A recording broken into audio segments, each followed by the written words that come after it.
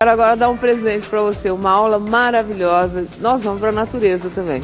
Como podar um bonsai, como cuidar para que ele não morra e como ter o prazer de ter é, um elemento como esse que reaja ao seu cuidado dentro da sua casa. Você vai saber tudo direitinho como tratar da sua plantinha. Bem legal. E depois de um tempo ela fica toda desanimada assim depois que você cortou. Mas aí ela dá um. Sabe, é igual amor quando você dá um, dá um trato, né? Vai lá, ó. Vamos ver como é que faz, Ó, que Uma lá, aula com um especialista em bonsai. Pra saber como é que se poda, como é que se cuida. Vai ficar bonita mesmo. Acompanha, vale a pena. Rodou.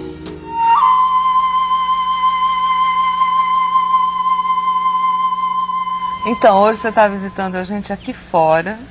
é, e, na verdade, visitando a mim, ao Márcio Azevedo, meu amigo, é, ex-proprietário desse bonsai maravilhoso, é, que eu ganhei faz quanto tempo? Assim, bem Tem um, um ano e meio, mais ou menos. Obrigado.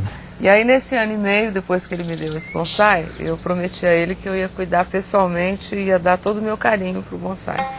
Eu podei esse, esse bonsai faz mais ou menos uns dois meses, um mês e meio. E de repente eu percebi que ele não estava brotando as flores, as folhas tão rápido, que está demorando para as folhinhas novas virem. Aí eu fiz uma consulta com ele, ele disse, olha, ele deve estar com falta de terra, com falta de espaço, né? Chegou a hora da gente rever as raízes. E ele me trouxe aqui um exemplo é, de como é que deveria estar. Esse aqui está todo descabelado, olha. Eu chamo meu bonsai de descabelado, porque esse está sem poda, então você não enxerga né, os patamares Exatamente. entre aí, porque e o que, que acontece quando o seu bonsai faz isso? É sinal que ele está bem alimentado, que ele está feliz com a quantidade Exatamente. de terra, não é? Troca de terra, na verdade, Ana, desculpa interromper, mas é um processo do cultivo do bonsai. De quanto em quanto tempo? Em média, a cada três anos. Tá. Mas existem árvores como as frutíferas que a gente deve trocar a cada dois anos no máximo. Se puder trocar todo ano, melhor. Aí eu falei, ah, então eu preciso de ajuda, porque ele está sem alimento, olha, porque a água carinho ele tem, agora está faltando alimento. Então ele veio aqui para você acompanhar com a gente hoje esse trabalho e eu estou curiosíssima para ver como é que são as raízes dessa minha árvore. Então agora a gente vai ficar conversando aqui, você vai acompanhar eh, essa diversão né, que a gente vai fazer aqui.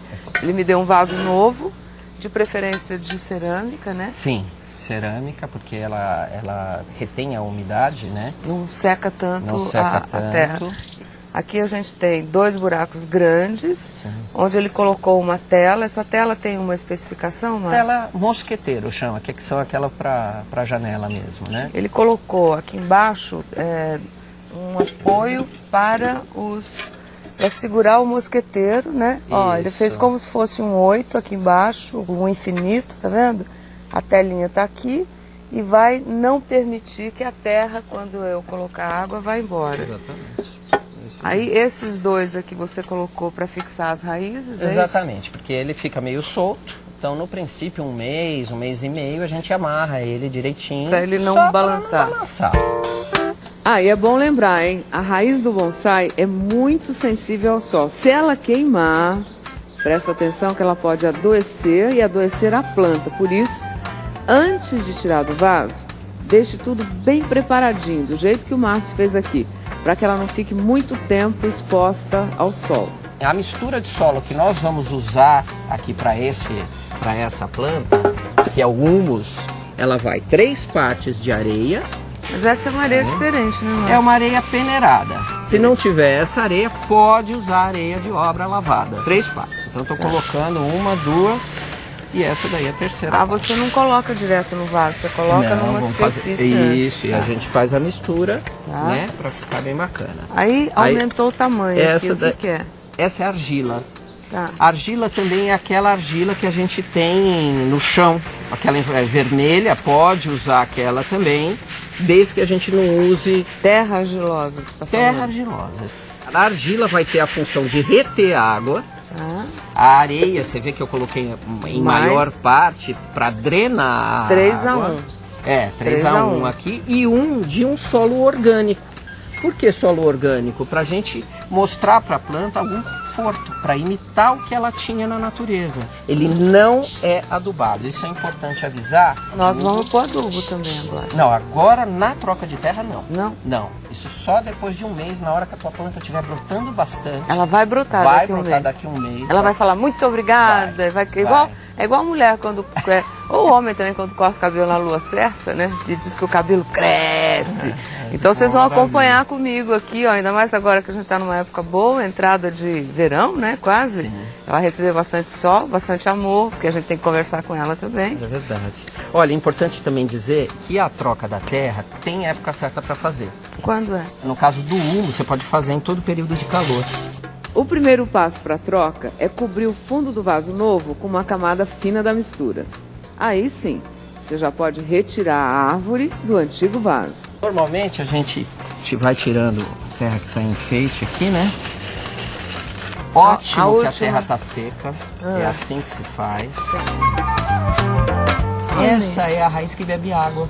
Ah, ela se ramifica, se ramifica dentro. e é Ah. muito fininha. Essa raiz é a que a gente vai dar preferência para deixar no bonsai. E as raízes grossas, que têm a função de deixar a planta fixada num Segura. terreno na natureza, essas para nós não interessam. Ai, que linda.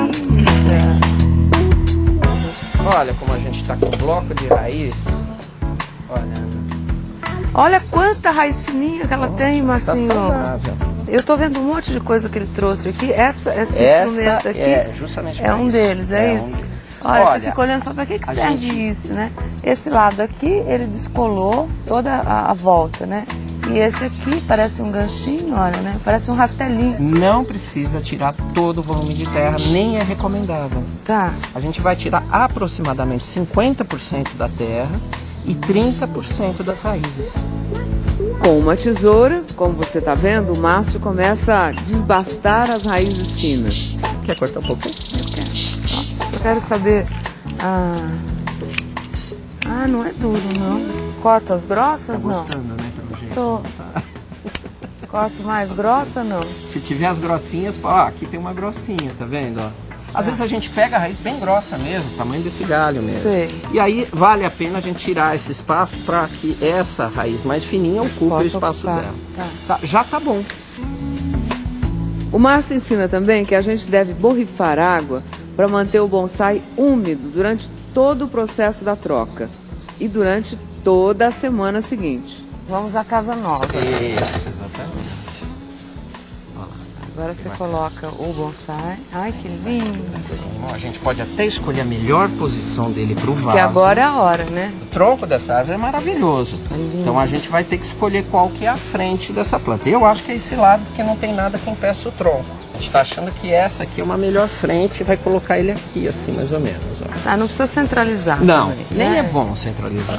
Depois de escolher a posição da planta no vaso, presta atenção porque ela tem sempre um lugar que é a frente. O Márcio chama da frente da planta. Tem frente e costas. Aí, colocou direitinho, é hora de preencher o vaso com o resto da mistura. Se faltar, é preciso fazer mais uma dose. Três medidas de areia, uma de argila e outra de terra escura sem adubo. E aí não tem que ter medo de botar a mão na terra. Ah, não, é Que a melhor, não. a melhor coisa do mundo é esse, esse contato aqui com a terra e com a. Né, se você tiver assim medo de estragar a unha, no meu caso já foi, é, bota uma luva, mas é, o o leal mesmo é pegar, é igual cozinhar mesmo, você botar a mão É, na, na comida. O gostoso é você sentir a natureza assim, né? Olha só o truque que o Márcio usa. Depois de encher o vaso, ele perfura a terra com o cabo de um pincel grande. Assim, perfurando, perfurando, as pedrinhas vão se acomodando e, ao mesmo tempo, criando espaços para a passagem de ar e de água. Vamos ver se ela ficou fixa? Ó, ficou. Nem precisa amarrar. Eu Se coloquei... você fosse amarrar, você amarraria onde? Eu amarraria assim. Isso se eu fosse transportá-la de carro para algum lugar, se tivesse um vento muito forte, alguma coisa assim, mas ela tá Até bem que- firme, ó. E veja como é fácil dar novas direções aos galhos do bonsai, sem ferir e nem impedir o crescimento normal. Tá olhando assim, né? Ele É, tá retinho, assim, olha ele de frente. Ele tá retinho assim. Aí ele achou aqui uma raiz aqui embaixo, onde ele engatou, ó, ele fez um, um ganchinho, né? Aí ele engatou aqui com delicadeza. Isso, eu quero que É, baixe um um pouquinho mais o galho. Um ajudante Ó. sempre é bom, viu? Aí ele vem e faz um gancho, né? Num outro lugar, na outra ponta. Enrola, ó. E abaixou um pouco esse galho. Olha, com essa forma, se você der uma baixada nesse galho, dá uma suavizada, né? Essa na linha aparência dele. muito E horizontal. de repente pode seguir muito reto para lá. Olha, seu Antônio, olha seu Antônio ali, que é o quê? É o responsável. Meu, é o meu ajudante oficial aqui. Tudo bem, seu Antônio? O senhor está aí desde o começo? Eu tô, eu tô só... Só aprendendo, né, seu Antônio? Aí, ó. E esse balde, esse negócio de água aqui? Então, aí por último, a gente Ah. vai ter que umedecer tudo isso que a gente fez. Porque Tá. seco assim é bom porque facilita o trabalho. Em 5 minutos a gente troca Mas uma agora terra. ela precisa de Agora soro. ela precisa de água, tá? Eu vou colocar aqui uma substância enraizadora. Isso em loja de jardinagem, isso é vendido. Substância enraizadora. É, Quer dizer, eu menos tenho que ter, então, um vaso ou uma bacia maior do Bacia. que o Ah, vaso com certeza. para colocar. E deixo aqui, você vai colocar o vaso Vai aqui. deixar até amanhã. Ah, dorme aqui. Dorme. Tá. Tá? Na UTI, então. É. Fica na UTI. Não tem- Operou, não agora vai vai pra UTI. Vamos lá, Ai, agora eu vou fazer na academia. Tá. Vamos lá. Yeah, você já tinha medido antes, né? Só faltava não caminhar. Essa água vai entrar pra cá. Aí entra, vem até aqui em cima. Vai quase sumir. Pode vir daqui 10 minutos já tá tudo úmido. E amanhã tira do vaso, né? Bota na sombra por uma semana, Tá. tá? Começou a brotar, que nem a gente viu o outro lá, bem com bastante brotos, tudo, já coloca no sol. Diz que daqui um mês e meio essa moça vai estar cabeludíssima.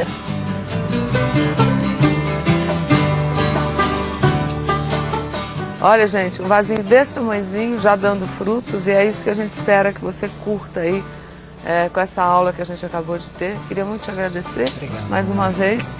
Né? Não só o presente do bonsai, mas o cuidado. É um presentão, depois você vê o seu trabalho florescer de verdade, né? Isso que é a vida, isso que é importante. Obrigada. Muito bom.